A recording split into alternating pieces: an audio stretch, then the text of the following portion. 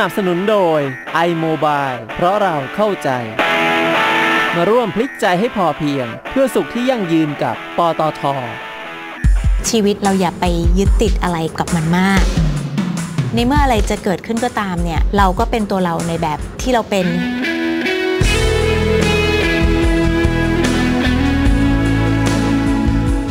หลังจากนั้นโฆษณาผ่านพ้นไปค่ะก็ได้เข้าไปสู่ในวงการภาพยนตร์เลยค่ะ ตอนอายุ 13โดยประมาณนะประมาณ14เรื่องอะไรนะครับ13ฉลุยค่ะฉลุยฉลุยสองโครงการครับสองตอนนั้นถ่ายโฆษณาไปได้สักสามสี่ตัวนะคะ แล้วก็พี่อังเคิลนะคะเขาเห็นเป็นภาพนิ่งอะนะคะจากโฆษณาแล้วก็เรียกให้ลงมาถ่ายถ่ายหนังดูพอมีคนบอกว่าจะมาให้ไปเล่นหนังเรื่องฉลุยเนี่ยดีใจมากนะคะ เพราะว่าติดตามมาตั้งแต่ฉลุยหนึ่งและนดังมากด้วย ใช่ค่ะ พี่เอ็มกับพี่บิลลี่นี่คือเขาแบบว่าเรากรี๊ดอยู่แล้วไงฮะพอแล้ววันหนึ่งได้ไปเล่นกับพี่ ใช่ใช่ค่ะโอ้โหปราบปลื้มมากค่ะ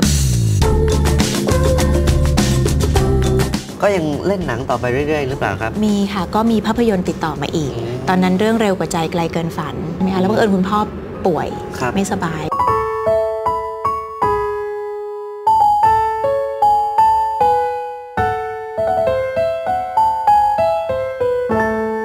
แล้วก็ต้องดูแลแล้วก็ครับเป็นช่วงที่คุณพ่อยังอยู่ในโรงพยาบาล ก็ทำงานไปด้วยแล้วก็ไปเยี่ยมคุณพ่อที่โรงพยาบาล ซึ่งมันใช้เวลาถ่ายทำตอนนั้นนะ8เดือนครับช่วงนั้นก็คุณพ่อก็เสียชีวิตด้วยอืมหลังจากนั้น 6 เดือน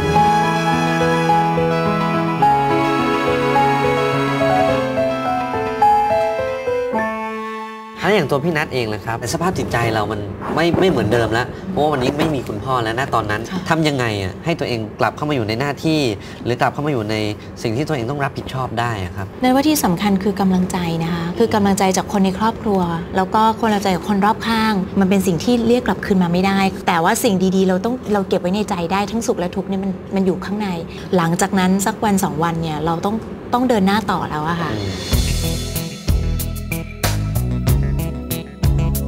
แล้วจากนักแสดงเนี่ยครับเป็นยังไงมายังไงถึงก้าวเข้าสู่การเป็นนักร้องได้ ก็เหมือนโชคชะตาเหมือนกันนะพาไปเหมือนกันค่ะ คือพอเป็นนักแสดงมาเรื่อยๆ ใช่ไหมคะครับก็ตอนนั้นแกรมมี่อะค่ะเขาก็มีเหมือนกันว่าให้ไป screen test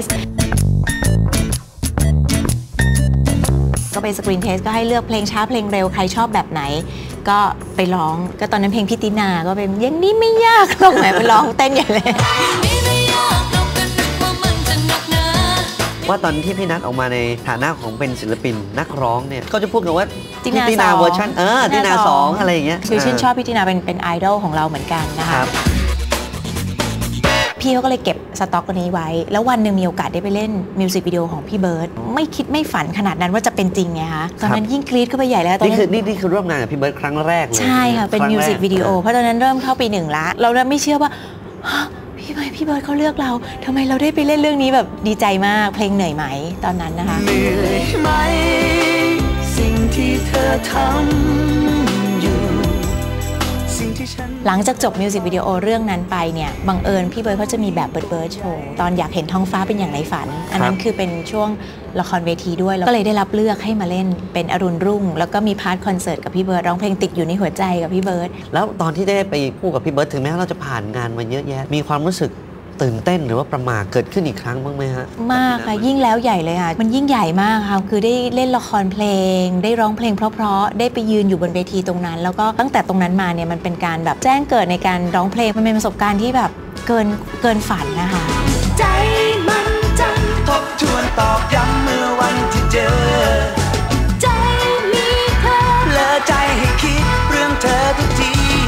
หลังจากการได้เล่นละครเวทีกับพี่เบิร์ดในวันนั้นแล้วเนี่ยได้ออกอัลบั้มทันทีเลยหรือเปล่าครับยังหลัจากค่ะนั้นยังยังอีกแล้วฮะตอนนั้นก็ร้องเพลงประกอบละครนะคะที่ตัวเองเล่นด้วยตอนนั้นเล่นละครอยู่เรื่องคือหัตถาครองพิภพชื่อเพลงด้วยมือของเธอฉันรู้ฉันซึ้งฉันอุ่นใจเพลงนี้ก็ประสบความสำเร็จพอสมควรเพราะว่าเพราะว่าควบคู่ไปกับละครที่ดังในตอนใช่นั้นใช่เออค่ะแล้วพี่นัทน่าจะเองก็เป็นอย่างนั้นมีความสามารถในตรงนั้นด้วย จึงทำให้ได้มาออกอัลบั้มค่ะอ่า หลังจากจบละครก็ถึงค่อยมาเป็น 6212 ก่อน 6212 เป็นอัลบั้มคือการรวมของศิลปิน 6 ท่าน 6 แขนงก็คือมีนัทมีมอส มีพี่เจ มีพี่ตินา มี UHT แล้วก็มีทาทาในเขาออกวัยเทปกันมารุ่นทุกคนหมดแล้ว นัทนี่เหมือนเป็นน้องใหม่เข้าไปเป็นเบอร์ 6 นั่นคือครั้งแรกก่อนที่ตัวเองจะออกอัลบั้มอีก